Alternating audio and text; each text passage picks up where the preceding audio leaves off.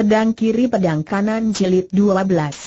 Karena sudah 27 tahun tidak menginjak daratan Tionggoan, Tiam Tai Cui tidak tahu Lam Hon telah melahirkan seorang murid terkemuka dan bernama Sao Peng Lam ilmu silat Sao Peng Lam boleh dikata tidak di Baud Bulim Suki pada 27 tahun yang lalu, di kalangan anak murid Suki saat ini ia terhitung jago nomor satu. Hektometer, Sao Penglam itu kutu busuk macam apa, dari mana ku tahu namanya jengek Ciam Tai Cui dengan mendongkol dia menghina Toa Suheng mereka, dengan sendirinya Kiao Lokiat dan rombongannya tidak senang, tapi mereka pun tidak berani buka suara selain mendengarkan saja. Cepatih Ciho memberi penjelasan, Sao Peng Lam adalah anak Sao Chiam Po dan Lan Hon, ia pun murid pertama Lam Hon, omong kosong damprat Chiam Tai Cui sambil melotot ke arah Kiao Lokiat. Tecu tidak berani, cepat Cihua menjawab dengan takut dua. Istri Sao Cheng Hong, Leng Tiong Cik, jelas dua mandul dan tidak bisa punya anak, dari mana mendadak bisa lahir seorang anak kata Chiam Tai Cui. Konon Sao Peng Lam bukan anak kandungnya, tapi anak angkat Sao Chiam Pua, tutur Ciho. Oh, jika demikian masih bisa dimengerti, kata Ciam Tai Cui sambil mengangguk. Dan care bagaimana kedua suheng kalian dilukai, berdasar sebab apa Sao Penglem melukai mereka sungguh menyakitkan hati jika diceritakan, tutur Ciho. Sebenarnya kedua suheng juga tidak bersalah apa dua terhadap Sao Penglem. Kemarin dulu kedua suheng makan minum di restoran Cui Sian Ciulau di Taian, begitu naik ke loteng restoran itu lantas terlihat Sao Penglam sedang menenggak arak, kedua suheng tidak menghiraukan dia, tapi dia lantas mencaci maki, katanya Teng Wan Susiu adalah babi dan anjing. Tentu saja kedua suheng menjadi marah dan mendekatinya dan menegur. Tak tersangka kedua suheng mendadak diserang, dengan dua kali depakan kedua suheng terjungkal ke buah loteng dan terbanting dengan cukup keras, sampai sekarang kedua suheng belum lagi sanggup bangun. Coba suhu, tidakkah keterlaluan perbuatan Sao Penglem itu? Dia harus dihajar adat, kalau perlu gurunya harus ditanyai mengapa membiarkan muridnya berbuat sewenang dua, dia bicara dengan lantang, dia menyangka pasti akan mendapat dukungan sang guru. Tak terduga sasaran pelampias marah Ciam Tai Cui bukanlah Sao Penglem melainkan Ciho sendiri, mendadak terdengar plak-plok dua kali, kontan Ciho mendekap pipinya yang bengap, ia menjadi bingung mengapa sang guru menamparnya, entah bagaimana dia salah omong. Dengan gusar Ciam Tai Cui lantas mendamperat. Memangnya gemilang kejadian kedua suhengmu itu didepak orang hingga terjungkal? Jaring benar Carol bicara musel akan dua kuatir tidak didengar orang lain? Hektometer, dasar murid tidak becus, sia dua kuajar kalian tapi-tapi, suhu, kita harus mengadu kepada So Ciampu mengadu apa bentak Ciam Tai Cui sebelum lanjut ucapan Ji Chiho, Carol bagaimana harus kukatakan? Apa aku harus bilang, Sao Cheng Hong, dengan dua kali depakan muridmu telah menjungkalkan dua muridku ke bawah loteng. Begitu? hektometer, dasar murid goblok, hanya bikin malu saja. Ciho tidak berani bersuara lagi, diam dua ia membatin, baru datang di Tionggoan sini, entah mengapa suhu lantas marah begitu coba jawab, kata Ciam Tai Cui pula. Sudah dua tahun sutemu bohko datang ke Tionggoan sini, kalian tahu tidak Tecu tahu setelah menerima surat suhu, jawab Ciho. Dan di mana orangnya bentak Ciam Tai Cui? Tanpa terasa pengsei, Kiao Lokiat dan lain-lain sama memandang mayat yang tertaruh di belakang punggung kuda Ciam Tai Cui itu. Pikir dua mereka, aneh, kenapa tanya? Bukankah mayat anakmu berada di situ kiranya mayat yang pendek gemuk dan melintang di atas kuda Ciam Tai Cui itu tak lain tak bukan adalah jenazah Ciam Tai Bohko. Terdengar Ciho menjawab, Begitu Tecu menerima surat dari suhu dahulu segera mencari berita jejak Sute, tapi sejauh itu belum, belum diketahui, bukankah kusuruh kalian menjemputnya di Darmaga Ciao Ciuan bentak Ciam Tai Cui? Tecu berempat menunggu sampai sebulan lamanya di Ciao Ciuan dan tidak melihat datangnya Sute, tutur Cihok pula. Tecu pikir mungkin Sute telah mendarat melalui pelabuhan lain, maka kami tidak menunggu lagi dan sampai sekarang belum pernah bertemu dengan Boh Kosute, padahal Cum Tai Boh Ko tidak pernah mendarat melalui pelabuhan lain. Dua tahun yang lalu dia mendarat di Chiao Chuan, dilihatnya keempat suhengnya siap menjemputnya di dermaga. Ia merasa akan terikat gila. Tinggal bersama para suheng itu, maka ia mendarat secara diam dua dengan bebas dan gembira dia pesiar selama dua tahun. Betapapun ia membawa sanggu yang cukup, maka segala kesenangan orang hidup telah dirasakannya semua. Karena dia pesiar ke sana dan ke sini dengan sendirinya sukar mencarinya bagi Ho dan lain dua. Ilmu silat Siam Tai Boh Ko memang lebih tinggi dibandingkan keempat suhengnya, tapi yang dipikirnya hanya pesiar dan foya dua, sama sekali tidak bergaul dengan orang buling, sebab itulah tiada orang Kangou yang tahu bahwa putra kesayangan Teng Wan, salah seorang tokoh sakti dunia persilatan saat ini berada di daratan Tionggoan. Akhirnya hampir segenap pelosok Tionggoan telah dikunjungi Ciam Tai Bohke, tugas yang diberikan Seng Ayah juga sudah dicapainya, yaitu membawa pulang Sao Kim Leng ke Teng He. Selagi ia hendak berlayar pulang itulah dia terbunuh di Chiao Chuan. Begitulah Kiam Tai Chui lantas meraung besar, kalian orang mampus semua barangkali? Kalau ditunggu tidak datang, kabarnya juga sukar dicari, mengapa kalian tidak mencari orangnya pada setiap tempat padahal Ji Ho berempat juga lagi sibuk berfoya dua sendiri, mana mereka sempat memikirkan Ciam Tai Boh Ko segala. Mereka pun tahu Kung Fu Seng Sute jauh lebih tinggi di atas mereka, dengan sendirinya tidak perlu khawatir akan terjadi apa dua pada diri Sute itu. Mereka pikir besar kemungkinan Seng Sute tidak mau tinggal bersama mereka dan lebih suka pesiar sendiri dengan bebas, maka mereka pun tidak mencarinya lagi. Maka Ciho tidak berani banyak omong, ia cuma mengiyakan, betul juga, sekarang para Sute sudah ikut datang, orang banyak akan lebih mudah mencarinya. Muyai. Besok akan kubawa Cikiat dan para sute mencarinya ke segenap pelosok, dalam waktu sebulan tanggung dapat menemukan Boh Kosute, dia mengira sang guru kangen kepada anaknya, maka dia sengaja bicara mengikuti arah angin kehendak gurunya.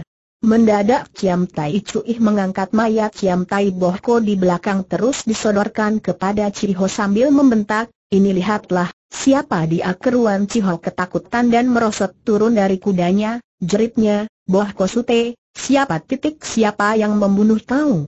Suheng bersumpah takkan menjadi manusia jika tidak dapat membalas dendam bagimu titik. Lalu menangislah dia terguguk dua. Tindakannya ini ternyata manjur juga, Ciam Tai Cuih tidak marah lagi padanya. Merdadak sorot matanya yang bengis menatap Lo Cikiat, Seakan dua rasa dendam kematian anaknya itu akan dilampiaskan atas diri Cikiat. Untung Cikiat juga pintar melihat gelagat, cepat ia pun melompat turun dari kudanya, ia merangkul kedua kaki Ciam Tai Bohko dan menangis tergerung dua entah care bagaimana, bisa juga dia memeras air matanya sehingga bercucuran. Anak murid Tang Wan yang lain juga tidak mau ketinggalan, mereka sama menangis sedih. Tapi yang benar dua berduka bagi sang guru yang kehilangan anak itu paling dua cuma dua atau tiga orang. Seketika ramailah suara orang menangis sehingga Ciam Tai Cuih juga ikut pilu, air matanya juga berderai. Dia cuma mempunyai seorang anak, betapa sedihnya dapatlah dibayangkan. Mendadak sorot matanya yang bengis itu beralih kepada para murid Lemhan. Cepat Kiao Lokiat berkata, Bukan kami yang membunuh anakmu, yang membunuhnya adalah seorang perempuan muda, Tiam Tai Cui sendiri sudah mencari tahu dengan jelas kepada kuli pelabuhan tentang apa yang terjadi di sana, maka ia pun tahu siapa yang membunuh anaknya ia lantas bertanya, bagaimana bentuk perempuan muda itu khawatir Ciam Tai Cui melampiaskan rasa murkanya kepada mereka, terpaksa Kiao Lokiat menguraikan bentuk wajah Soat Koh.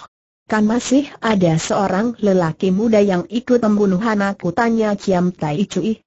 Betapapun rendahnya Kiao Lokiat juga tidak nanti menjual nyawa Soat Peng Sei, maka ia menjawab dengan menggeleng, wajahnya terlalu biasa tiada sesuatu ciri yang dapat dilukiskan, Untung para kuli pelabuhan waktu itu hanya menonton dari kejauhan sehingga tidak jelas bagaimana air muka Soat Koh dan Peng Sei, mereka hanya dapat menceritakan dandanan Peng Sei serta warna bajunya.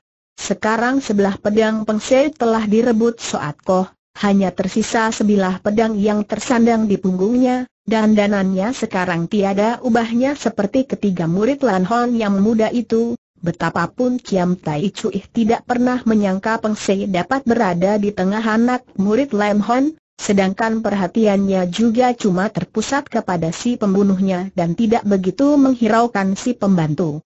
Tegang juga Peng Sei menghadapi keadaan demikian, tak terduga Kiao Lokiat cukup luhur budinya dan setia kawan, Peng Sei tidak dijualnya kontan. Mendadak Kiam Tai Cui bertanya pula, Perempuan muda itu murid Pak Cai bukan sudah pasti kuli pelabuhan tidak ada yang tahu ilmu pedang apa yang dimainkan Soat Koh. Jelas pertanyaan ini timbul dari rabaan Ciam Tai Cui sendiri.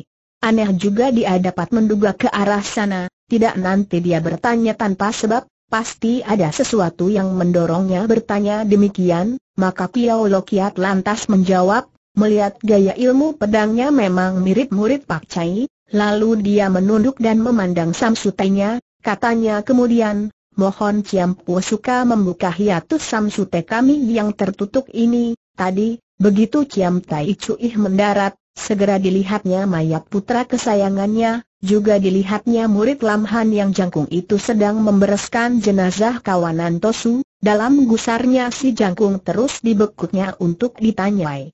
Tapi si jangkung sangat keras kepala, Semakin diperlakukan kasar semakin tidak mau bicara. Ciam Tai Cuih menyangka dia adalah pembunuhnya, selagi ia hendak membunuhnya, untung ada penonton di pinggir jalan memberitahu tentang apa yang terjadi tadi. Apalagi setelah bergebrak segera diketahuinya si Jangkung adalah murid Lam Hon, dengan sendirinya ia tidak mau membunuh si Jangkung dan mengikat permusuhan dengan Sao Cheng Hong. Maka ia cuma menutup hiatsu yang membuatnya pingsan, lalu dibawanya mengejar ke ini. Kiao Lokiat merasa tidak mampu membuka hiatu yang ditutup oleh ilmu Tengman itu, terpaksa ia mohon pertolongan kepada Ciam Tai Cui sendiri. Tapi Ciam Tai Cui tidak menggubrisnya, ia bertanya pula, kalau kau dapat melihat gaya ilmu pedang perempuan muda itu, jelas pada waktu anakku terbunuh kau pun berada di sana. Diam dua Kiao Lokiat merasakan gelagat jelek, ia tidak berani menjawab. Didengarnya Ciam Tai Cui berkata pula, melihat pembunuhan kalian tidak turun tangan menolong, kalian ini terhitung satria Kang Ou macam apa Kiao Lokiat berusaha membela diri, katanya, putramu membunuhi kawanan Tosu Butong Pei. Tentunya Ciam Pu tahu hubungan erat Lam Hon kami dengan Butong Pei. Dalam keadaan begitu apakah mungkin kami menolong anakmu Ciam Tai Cui tidak peduli, Katanya, kalian tidak menolong anakku, kalian harus dibunuh semua serentak. Anak murid Lam Hon memprotes mana ada aturan begitu peduli ada aturannya atau tidak. Pokoknya kalian harus mati bentak Ciam Tai Cui. Yang tidak ingin mati boleh berlutut dan menyembah tiga kali kepada jenazah anakku, akan kuhitung sampai tiga, siapa yang tidak menyembah segera kubinasakan. Nah, satu, dua titik si monyet tidak tahan, Teriaknya, labrak saja dia serentak anak murid Lam Hon itu melompat turun dari kuda masing dua.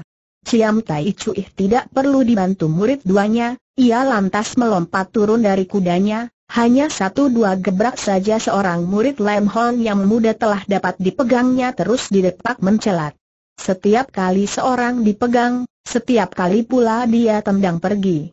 Hanya belasan Gebrak saja anak murid Lam Hon itu sudah sama roboh di sana sini, semuanya tercengkeram hiatsu yang membuatnya bisu serta ditendang satu kali.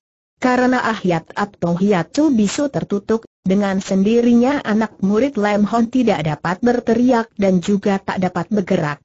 Maka tertawalah Ciam Tai Cui terbahak dua, katanya, Peasuh yang kalian telah mendepak kedua muridku, sekarang ku depak kalian berdelapan, satu orang satu kali, jadi ku bayar empat kali lipat.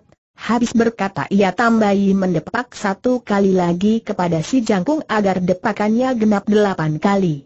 Habis itu mendadak ia memandang ke arah Soat Pengsei yang tidak ikut turun bertempur itu. Kebat-kebit hati Pengsei. Untung Ciam Tai Cui hanya manggut dua saja dan berkata, EHM, betapapun kau ini memang lebih pintar, tahu tidak dapat melawan lantas tidak mau ikut bertempur. Tapi bisa juga lantaran takut mati, maka kau diam saja haha, jika betul kau takut mati, maka kau ini dapat dianggap murid teladan Sao Cheng Hang tadi dia bilang akan menghitung sampai tiga, tapi kata tiga itu tidak pernah diucapkan.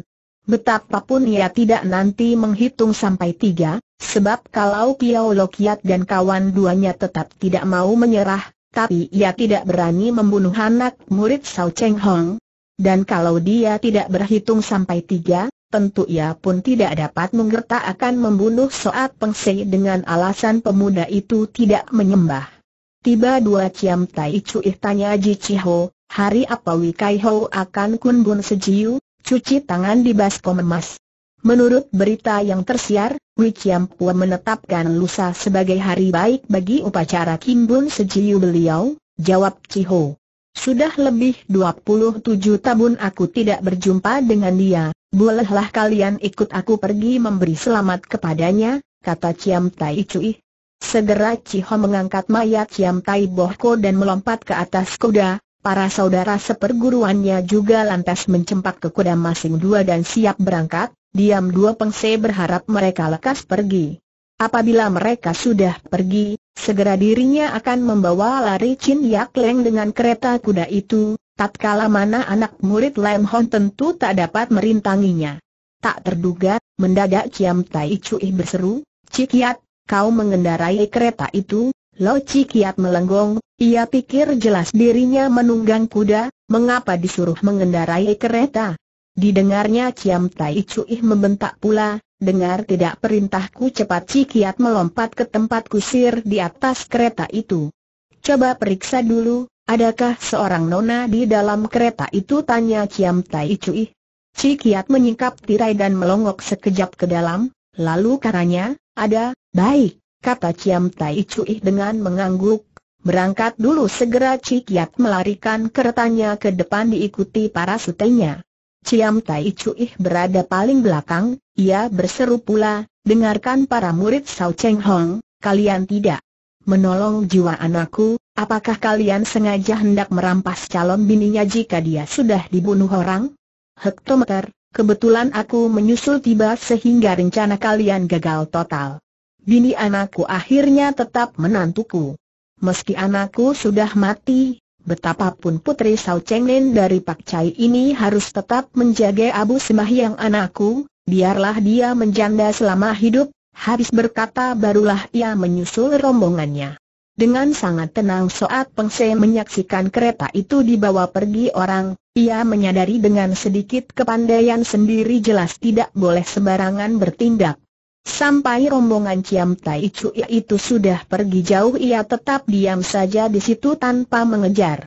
Ia tidak sanggup membuka hiatu rombongan Kiao Lokiat yang ditutup Ciam Tai Cuih tadi tapi ia mengangkat mereka satu persatu ke bawah pohon di tepi jalan, lalu mengumpulkan kuda tunggangan mereka dan ditambat menjadi satu, akhirnya ia berduduk dan berjaga di situ. Ditunggunya sampai lama sekali, lambat laun si jangkung dapat bergerak sedikit demi sedikit. Ia tahu hiatu mereka sudah hampir terbuka dengan sendirinya dan tidak perlu dijaga lagi, maka ia lantas mencemplak ke atas kudanya dan tinggal pergi. Bukan maksudnya tidak menghiraukan lagi keselamatan Chin Ya Leng, soalnya dia tahu tidak mampu melawan Ciam Tai Cuih maka ia pikir harus berusaha menolongnya dengan akal, betapapun Yak Leng harus diselamatkannya dari cengkeraman Ciam Tai Cuih.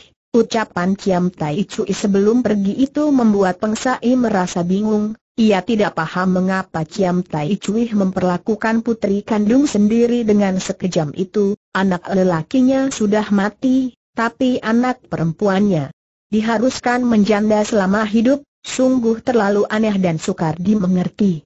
Kesadisan demikian tidak berbahaya, untuk sementara waktu Peng Se tidak perlu khawatir jika Chin Yan Leng tidak sudi mengaku sebagai Sao Kim Leng, itulah yang berbahaya. Maklum, terhadap anak perempuan kandung sendiri dengan sendirinya Ciam Tai Cui takkan membunuh atau memperkosanya, tapi terhadap perempuan lain jelas tidak ada jaminan. Sebab itulah bila Yak Leng menjelaskan kepada Ciam Tai Cui bahwa dia sesungguhnya bukan Sao Kim Leng, itu berarti malapetaka akan segera menimpanya. Inilah yang menguatirkan Peng Sei, tapi ia pikir Yak Leng telah melarangnya membongkar rahasia penyamarannya, jelas nona itu pun takkan membuka rahasia kepalsuannya sendiri. Untuk menolong Yak Leng dengan akal harus dilakukan sebelum Ciam Tai Cui pulang ke Teng Hei, jika dia sudah pulang kandang, tentu sukar untuk turun tangan.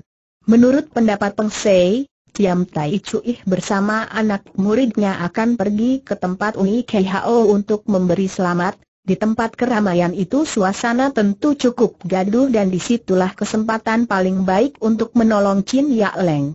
Tentang Wi KBO, orang ini memang sangat termasyhur, dia adalah Sutebok Jong Siong, satu di antara Tionggoan Sam Yeu atau tiga sekawan dari Tionggoan yang diberi julukan Himlo atau si kakek kecapi. Bicara tentang Tionggoan Sam Lo, mereka adalah tiga tokoh besar ilmu silat yang paling menonjol belasan tahun terakhir ini, nama mereka tidak di bawah Bulim Suki, ilmu silat mereka pun tidak lebih asor. Lebih dua anak murid mereka juga sangat banyak, dalam hal kekuatan dan pengaruh kecuali Sekoan, satu di antara Bulim Suki, ketiga Ki yang lain jelas tak dapat menandinginya.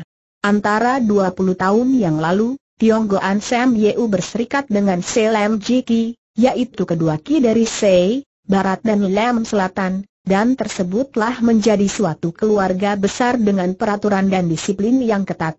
Persekutuan mereka itu terkenal dengan Manis Ngo Tai Lian Beng atau Persekutuan Lima Besar.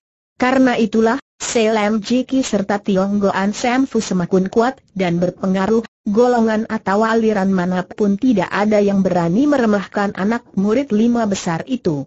Maka Ngo Tai Lian Beng Bolen dikatakan sama dengan Raja Fa dunia persilatan, nama dan pengaruhnya bahkan jauh di atas aliran Xiaoling dan Butong yang terkenal itu. Pada waktu mengikat persekutuan, Mestinya Tionggoan Sam Yeu dan Selem Jiki bermaksud menarik pula Tang Pak Jiki, kedua Ki dan Timur dan Utara, tapi lantaran Tangguan berada jauh di lautan timur dan termasuk wilayah negeri asing, untuk mengundangnya tidaklah mudah. Adapun mengenai Pak Cai karena hilangnya Sao Cheng anak muridnya juga bubar dan cari jalan keluar sendiri dua, yang tersisa hanya kaum wanita dan para budaknya, jika mereka pun diajak masuk perserikatan, rasanya kurang gemilang, maka tanpa dipertimbangkan nama Pak Cai lantas dicoret dari acara perundingan.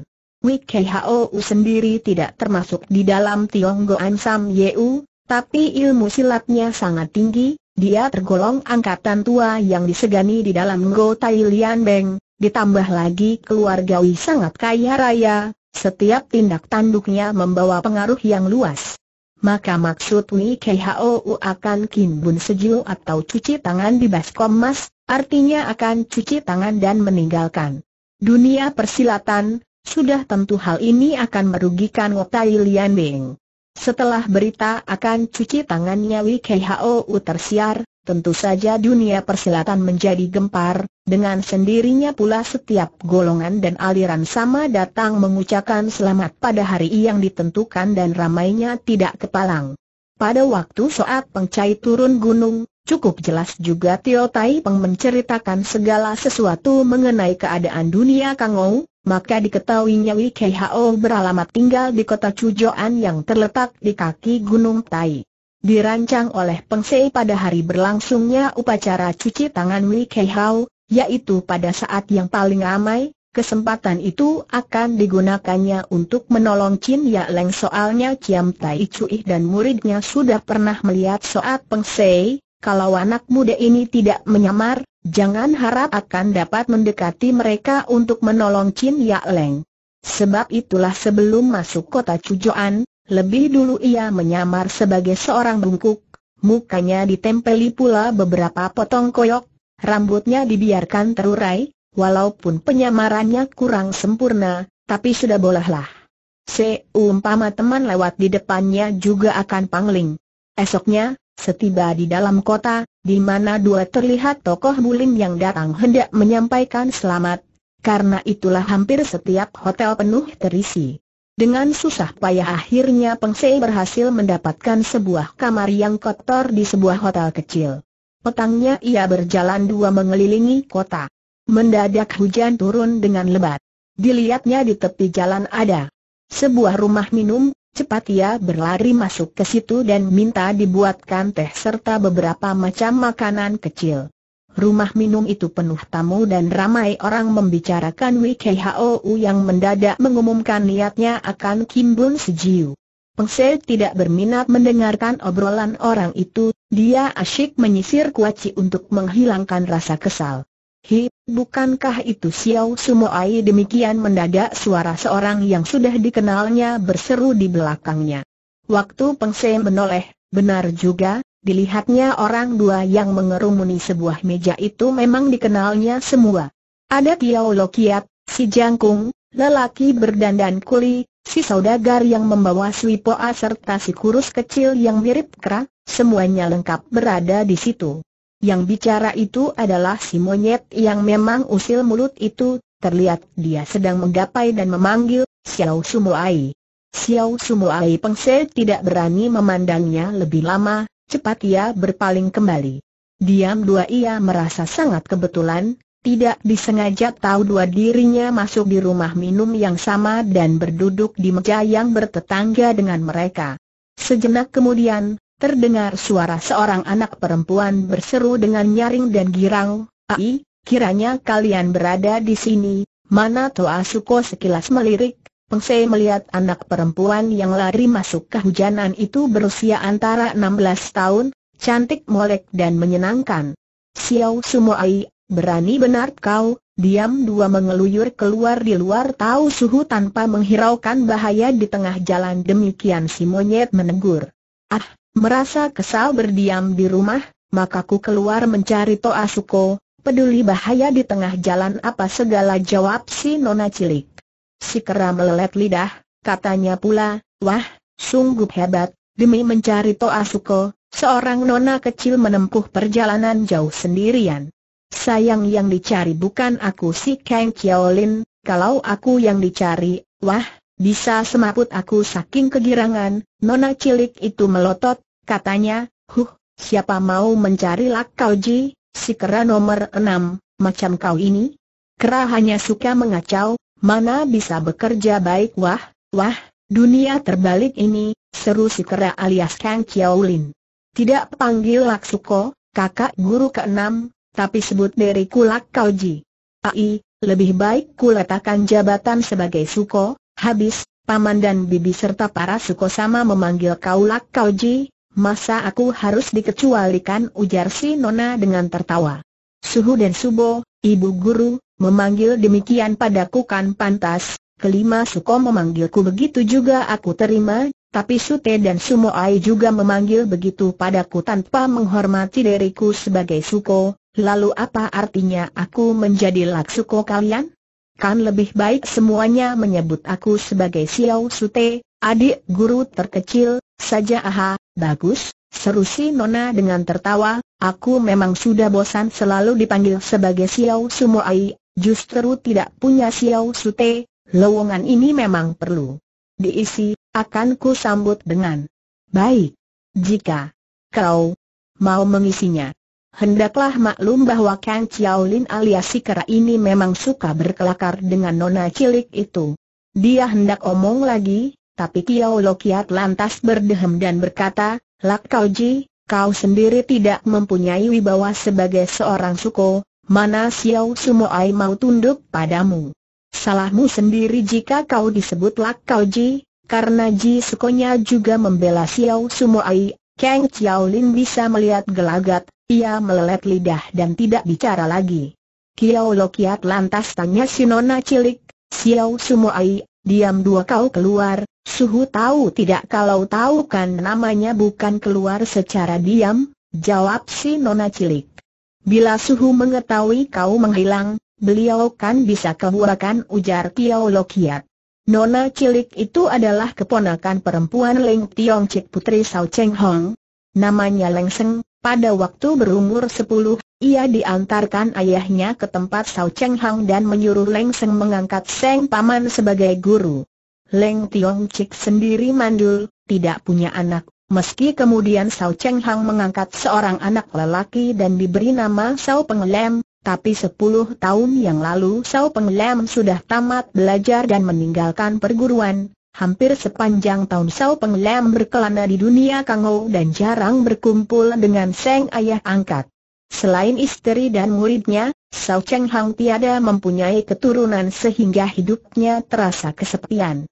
Dengan datangnya Leng Seng, meski cuma keponakan, tapi lantaran anak darah itu sangat menyenangkan, pintar ngomong dan mahir bicara, maka dia sangat disayang Sao Cheng Hang melebihi anak kandung sendiri, bila tidak bertemu satu hari, rasanya seperti kehilangan sesuatu. Sekali ini diam dua lengseng meninggalkan Hui Chiu dan datang ke Soatang, untuk perjalanan ini saja makan waktu tahun 2020-an hari, jika Sao Cheng Hang tidak mengetahui ke mana perginya lengseng, selama 20 hari ini pasti kau akan setengah mati.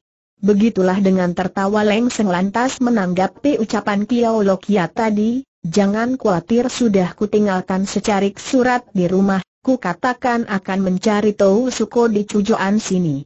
Jika paman tahu tempat kepergianku, tentu beliau tidak akan khawatir lagi, ah, belum tentu, ujar Kiao Lokiat. Menurut pendapatku begitu melihat surat yang kau tinggalkan, beliau pasti akan menyusul kemari, Bukankah akhir dua ini paman sedang meyakinkan semacam kungfu yang mahal lihai kata Leng Seng. Tapi kalau kau menghilang, mana suhu dapat berlatih kungfu dengan tenang ujar Kiao Lokiat. Kukira semuanya pasti akan ditinggalkan untuk sementara dan akan mencari kau lebih dulu. Mendadak Kiao Lokiat teringat sesuatu, segera ia bertanya, Eh dari mana kau tahu jejak Toa Suko sehingga mencarinya kemari meski Toa Suko bersama kalian menuju ke Chiao Jiluan, tapi ketika berangkat ku dengar paman memberi pesan kepada Toa Suko agar mampir di Cujuan dan mewakilkan beliau mengucapkan selamat kepada Wisusuk yang akan. Kim Bun Sejiu, malahan Suko sudah dibekali kado. Menurut perhitunganku, besok lusa adalah hari upacara Kim Bun Sejiu Wisusyok, maka setiba di sini pasti dapat kutemukan Toa Suko, dan sekarang sudah bertemu belum tanya Kiao Lokiat. Kalau sudah bertemu tentu aku takkan kehujanan hingga basah kuyuk begini, kata Leng Seng, justru sepanjang jalan tadi ku cari keterangan mengenai Toa Suko maka kehujanan, ai, mengapa tidak ada orang yang sudi mencari diriku dengan diguyur hujan, kata Kang Chiao Lin dengan menyesal. Agaknya pembawaan Toa Suko memang berejeki besar, si saudagar yang membawa Sui Poa ikut menimbrung, hi, Lak Kau Ji, kau ini kagum atau iri kepada Toa Suko katakanlah iri, tapi apa dayaku ucap Kang Chiao Lin sambil menyengir. Selama hidup Xiao Sumoai tak bakalan menyukai Lak Kau Ji, yang disukai dia hanya Toa Hayo omong lagi Hardik Lengseng dengan muka merah. Seperti biasa Kang Lin melelet lidah dan menjawab, tidak, tidak berani omong lagi diam dua pengse merasa heran melihat keakraban anak murid Lam Hon itu, pikirnya, Jisuko mereka yang bernama Kiao Lokiat ini tampaknya sudah tua sedikitnya 50 lebih. Maka Toa Suko mereka yang bernama Sao Penglam itu pasti lebih tua daripada Kiao Lokiat. Sungguh aneh, Mengapa seorang anak darah berumur 16-17 tahun bisa menyukai seorang kakek yang 30-40 tahun lebih tua daripadanya? Didengarnya Kiao Lokiat lagi berkata, Xiao Sumoai tidak menemukan Toa Suko, kami pun belum bertemu dengan beliau, tampaknya Toa Suko belum datang ke cujuan sini, kalian tidak berada bersama Toa Suko tanya Lengseng. Tiga hari yang lalu Toa Suko berpisah dengan kami di Taian, tutur Kiao Lokiat, beliau pergi sendiri menyampaikan selamat kepada Wisusyok sedangkan kami menuju ke Chiao Chuan, sudah disepakati setelah upacara Kimbun sejeng Wisusyok itu selesai, segera Toa Suko akan menyusul ke Chiao Chuan untuk membantu kami. Tapi kalau terbukti Ciam Tai Bohko sudah berlayar pulang, maka kami harus menyusul ke sini untuk bertemu dengan Toa Suko serta pergi bersama ke tempat Wisusyok. Toa Suko menyatakan tiga hari sebelum upacara, setiap siang hari dia pasti dapat ditemukan di Ciulau, restoran, kota ini. Tapi hampir semua restoran sudah kami cari, tetap belum menemukan Toa Suko, mengapa harus berada di Ciulau melulu Lengseng dengan kurang senang. Xiao Sumoai, Kata Kiao Lokiat dengan tertawa tidakkah kau tahu, setiap hari Toa Suko mesti minum arak, kalau sehari tidak minum 10 atau 20 kati, tentu rasanya tidak enak, hanya inilah kebiasaannya yang jelek, kata Lengseng sambil berkerut kening. Meski gemar minum arak, tapi Toa Suko tidak pernah menelantarkan tugas maka hobi minum arak ini pun tak dapat dikatakan kebiasaan jelek, ujar Kiao Lokiat. Dan sekarang kalian menyusul kemari, apa ini berarti Ciam Tai Bohko sudah berlayar pulang tanya Lengseng? Bukan, jawab Kiao Lokiat. Ciam Tai Bohko sudah mati, Lengseng terkejut, tanyanya pula, dan bagaimana dengan anak perempuan Sao Supek dia jatuh di tangan Hang Ho Awan Chu yang saat ini juga memimpin anak muridnya ke sini untuk mengucapkan selamat kepada Wisu Siok, tutur Kiao Lokiat. Maka kami ingin cepat menemui Toa Suheng untuk berunding dengan beliau care bagaimana akan menolong Sao Sumuai. Oh jadi Ciam Tai Cuih berada di kota ini. Lalu care bagaimana Sao Suci sampai jatuh di cengkeramannya tanya Lengseng pula. Kiao Lokiat lantas menceritakan apa yang terjadi kemarin.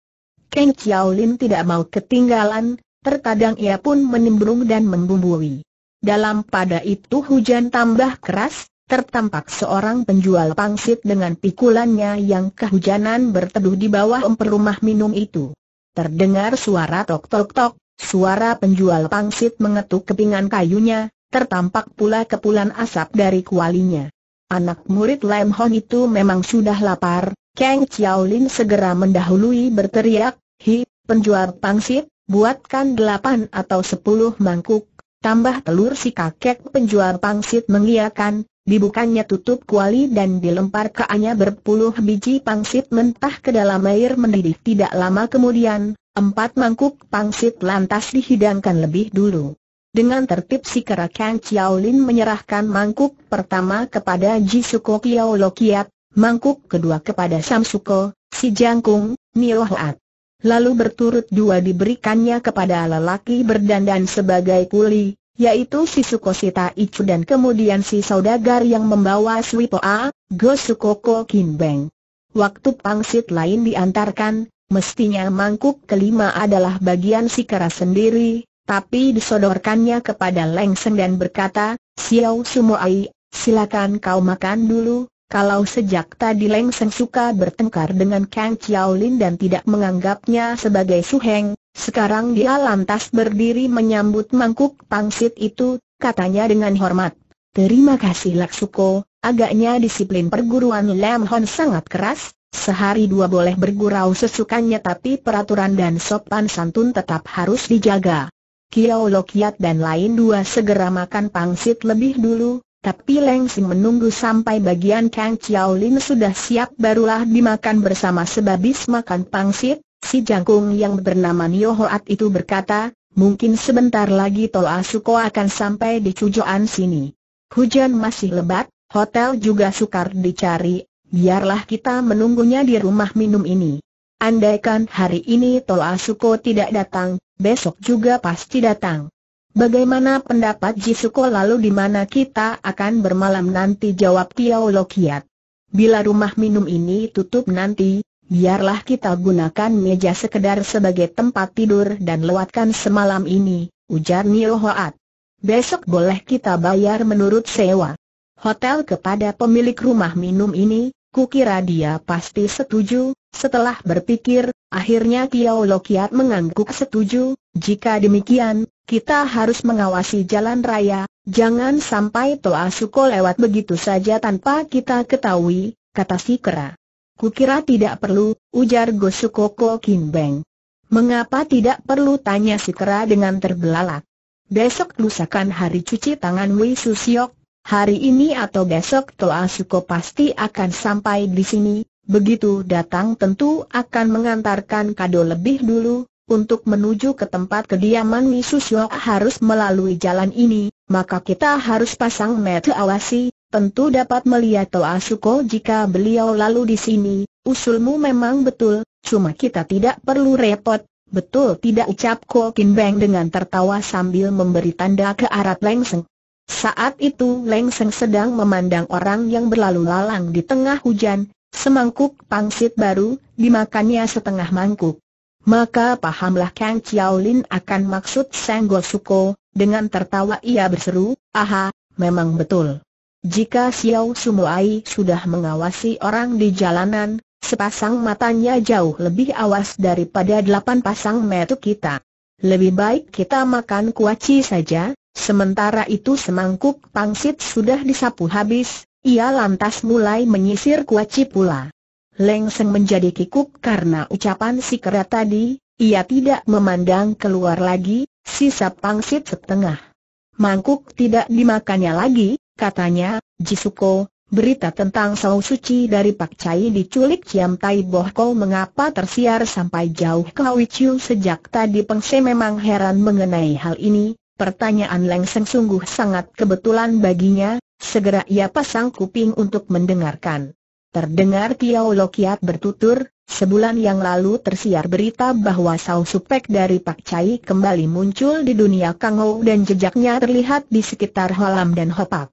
Jarak antara Hui Chiu dengan Holam dan Hopak sangat jauh, syukur anak murid Butong tersebar di mana dua, setiap orang tahu hubungan baik Lem Hon kita dengan Butong, maka dalam waktu singkat kita pun menerima berita merpati yang dikirim oleh murid Butong yang kebetulan berada di wilayah Holam dan Hopak. Demi membuktikan berita itu, Suhu membalas surat dan minta murid Butong P yang berada di Soasai agar suka datang ke Xiao Go Taisan tempat kediaman Sao Supek itu, untuk menyelidiki kebenaran berita itu, sebab betul atau tidak berita itu pasti diketahui oleh anak perempuan Sao Supek. Tak terduga, beberapa hari kemudian datang pula berita merpati dari Butong Pi dan menyatakan salah Sumoai tidak berada di Leng Hiang Kai, menurut keterangan budak yang masih tinggal dipakai, katanya Sao Sumoai telah diculik Ciam Tai Bohko dan akan dipaksa menjadi istrinya, diam dua pengse mengangguk, pikirnya, yang diculik Ciam Ni Bohko itu adalah Yak Leng dan bukan Sao Kim Leng, budak Pak Cai tentunya tahu juga hal ini. Mungkin mereka sengaja memberitahukan begitu agar Lem Hon memberi pertolongan apa pun juga Peng Se tetap tidak percaya bahwa Chin Ya Leng secara sukarela mau mengaku sebagai Sao Kim. Leng, ia menduga Yak Leng tentu dipaksa oleh Liok Ma dengan ancaman yang sukar untuk ditolak sehingga mau tak mau Chin Yak Leng tidak berani lagi mengakui asal-usulnya sendiri.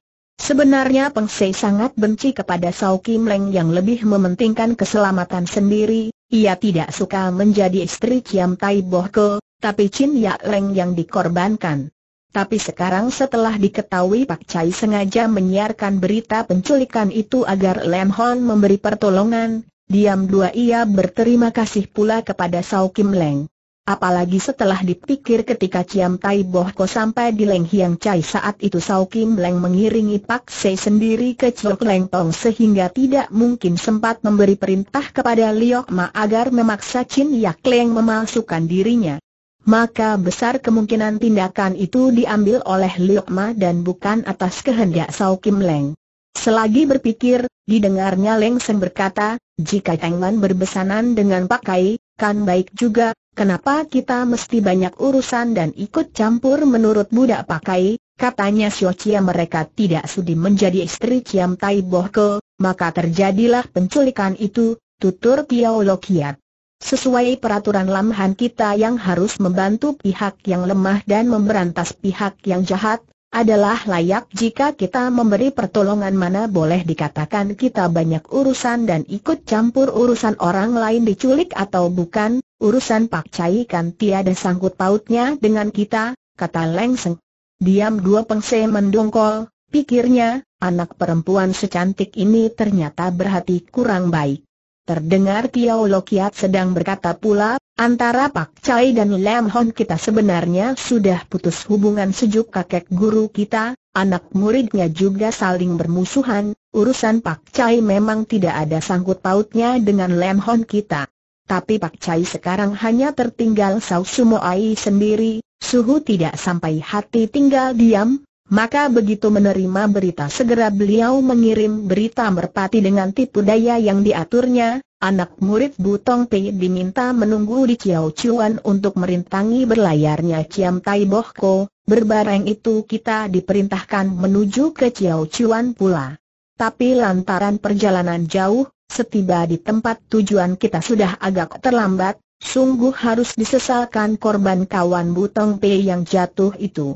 Hal ini belum lagi diketahui suhu, meski Ciam Tai Boh Ko sudah mati, bukan mustahil bila bertemu Ciam Tai Cui akan ditegur pula oleh suhu. Si Suko Si Tai Cui ikut bicara, anaknya merampas gadis orang, Seng ayah bukan saja tidak bertindak, sebaliknya malah membela anak sendiri dan mengharuskan anak gadis orang lain menjanda bagi kematian anaknya. Huh, Tiam Tai Chu itu manusia apa jangan dikira si Tai Chu itu berdandan sebagai kuli dan kelihatan kampungan tapi pembawaannya sangat simpatik dan berbudi luhur, segala kejahatan dipandangnya sebagai musuh. Bicara punya bicara saking gemasnya ia terus menggebrak meja. Kontan sebuah mangkuk pangsit mencelat dan jatuh ke bawah meja. Syukur Kokin Beng cepat bertindak, Sebelah kakinya sempat mencungkit sehingga mangkuk itu mencelat kembali ke atas, dengan enteng mangkuk itu lantas ditangkap oleh Ko Kim Beng. Pada saat itulah, sekonyong dua si kakek penjual pangsit mendesis, awas, musuh datang, lekas pergi semua murid Lam Hon terkejut demi mendengar ucapan si penjual pangsit itu. Adakah Ciam Tai Cui tanya Ko Kim Beng? Tapi si kakek penjual pangsit hanya memberi isyarat keluar dan tidak bicara, lalu ia ketok dua pula kepingan kayunya. Serentak anak murid Lam Hon sama memandang keluar, tertampak di bawah hujan belasan orang sedang berlari kemari, cepat langkah mereka, tapi hampir tidak bersuara. Orang dua ini sama memakai mantel hujan, sesudah dekat baru terlihat jelas, kiranya serombongan Nikoh. Yang paling depan adalah seorang nikoh tua bertubuh sangat tinggi, dia berdiri di depan rumah minum, dengan suara kasar ia kasar berteriak, Sau pengelem, menggelinding keluar sini melihat nikoh tua itu, serentak Kiao Lokiat dan kawan duanya berbangkit serta memberi hormat dengan suara lantang Kiao Lokiat menyapa, Ting Yat Susyo kiranya nikoh tua itu bergelar Ting Yat Sutai, dia adalah sumuainya Ting Sian Sutai, Si Nikoh penyair dari Tionggoan Sam Yeu. Ting Sian Sutai adalah ketua Xiong San Pei di Holam, semuanya, yakni Ting Yat, juga memimpin sendiri suatu kuil, yaitu ketua kuil Pek Hunem, biara awan putih, di lereng Gunung Xiong San. Selain berpengaruh di Xiong San Pei sendiri, ia juga disegani di dunia persilatan. Terdengar dia berteriak-teriak pula dengan suara kasar, di mana Sao Pek Lem bersembunyi, suruh dia keluar. Suaranya eras dan lebih kasar daripada kaum lelaki. Lapor Susiok, Sao Suheng tidak berada di sini, demikian Kiao Lokiat menjawab. Sejak tadi Tecu sekalian telah menunggunya di sini, tapi Sao Suheng dan tetap belum datang, begitulah dengan suara kasar ia berteriak pula tanpa menghiraukan Kiao Lokiat, di mana Sao Pengelem, Suruh dia lekas keluar suaranya keras dan lebih kasar daripada kaum lelaki. Lapor Susiok, Sao Suheng tidak berada di sini, cepat Kiao Lokiat menjawab. Sudah sejak tadi Tecu sekalian menunggu di sini, tapi Sao Suheng belum lagi muncul, mendengar itu, diam dua pengse menganggap Sao Pengelam itu benar dua orang yang suka cari gara dua. Beberapa hari yang lalu baru saja menghajar murid Chiam Tai Cuih, sekarang entah sebab apa telah membuat marah pula si Nikoh tua ini. Tingkat memandang sekejap semua tamu di rumah minum itu dan tidak melihat Sao Penglem yang dicarinya, tiba dua sorot matanya hingga pada diri Lengseng, tanyanya, kau ini kah Senji? Baik duakah bibimu dengan tertawa Lengseng menjawab, terima kasih atas perhatian Susiok, bibi baik dua dan sehat dua saja. Susiok, entah salah apa Toa Suko hingga membuat marah kepadamu. Biarlah ku berlutut menyembah untuk minta maaf kepadamu harap Susiok jangan marah lagi, habis berkata ia benar dua lantas berlutut dan hendak menyembah. Namun tingkat keburu mencegahnya, lengan jubahnya mengebas, seketika Lengseng merasa suatu tenaga yang tak kelihatan menolak tubuhnya sehingga tidak mampu berlutut. Hektometer, disiplin Lem Hon kalian makin hari makin kendur dan membiarkan muridnya main gila di luaran, jengek tingkat.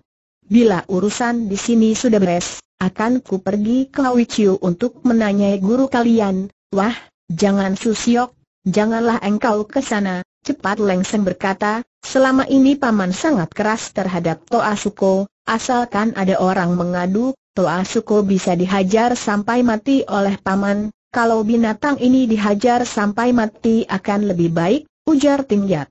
Dia telah membawa lari muridku yang terkecil, mana boleh tidak kuadukan kepada gurumu, keterangan ini membuat para murid Lem Hon sama melengak kaget.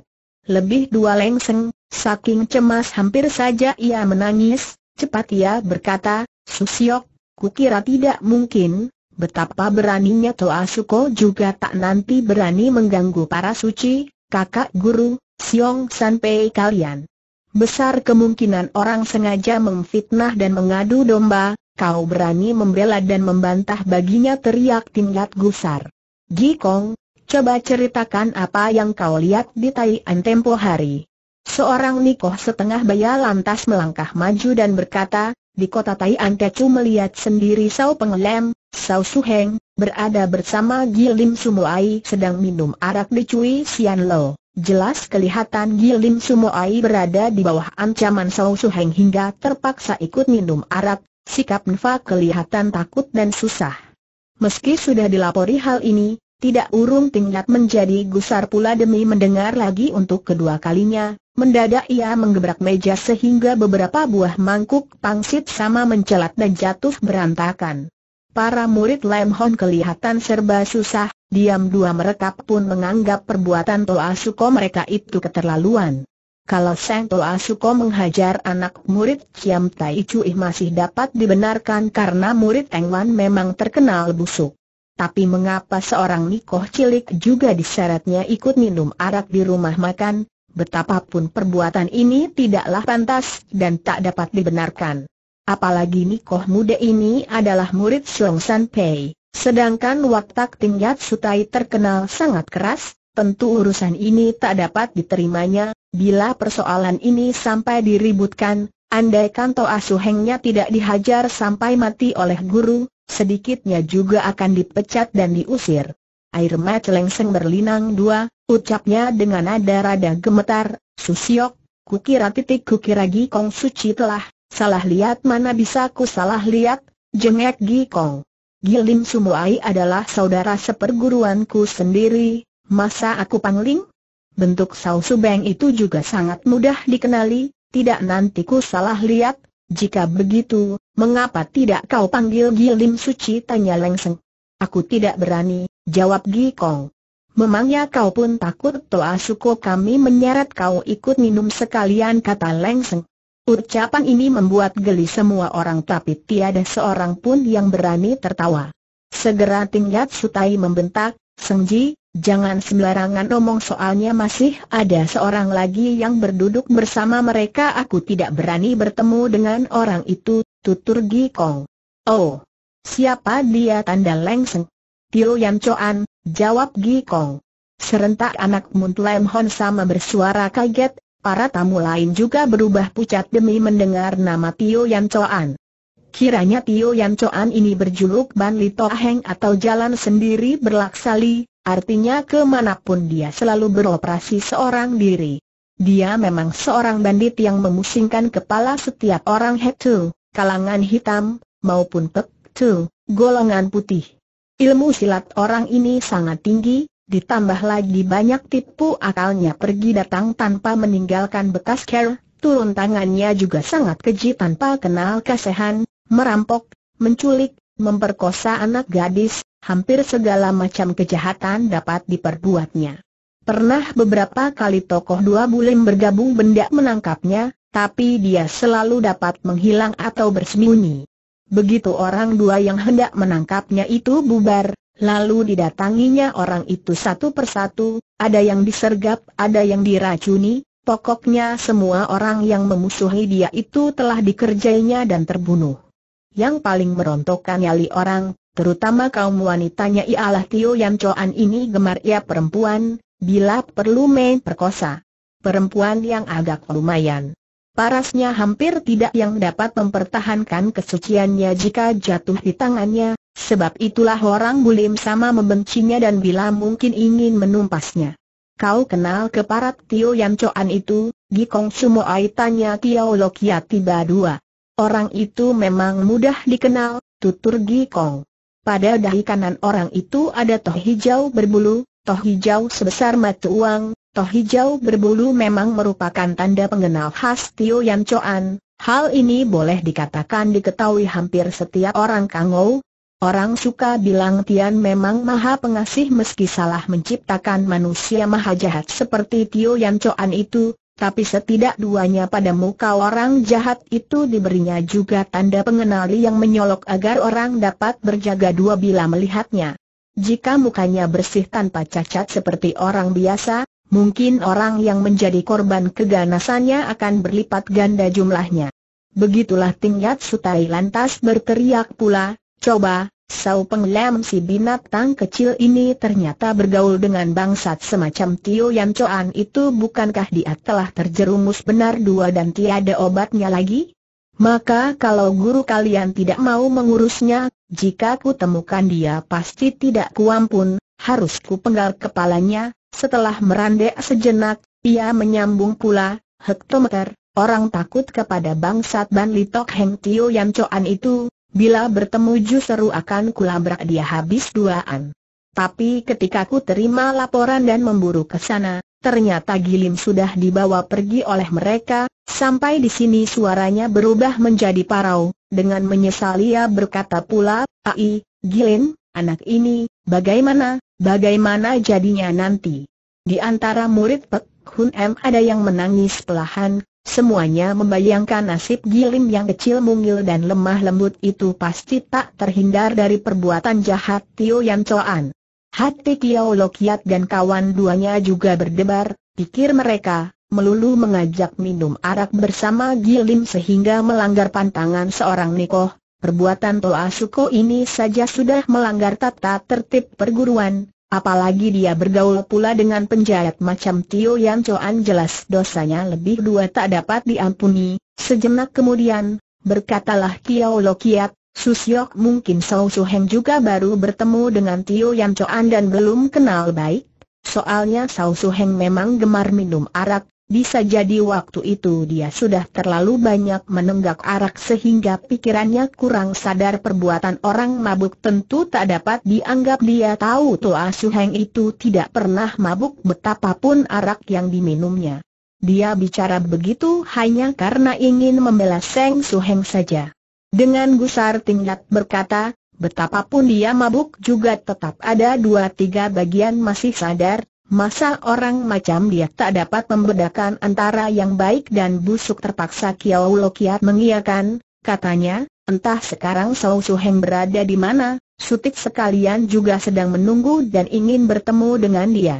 Biarlah kami minta maaf dulu kepada Susok dan nanti akan kami laporkan kepada Suhu biar memberi hukuman setimpal kepada Toa Suheng. Memangnya kau kira aku mau repot mengurusi Suheng kalian ucap tingkat dengan gusar, sekali tangan terjulur, mendadak pergelangan tangan lengseng dipegangnya.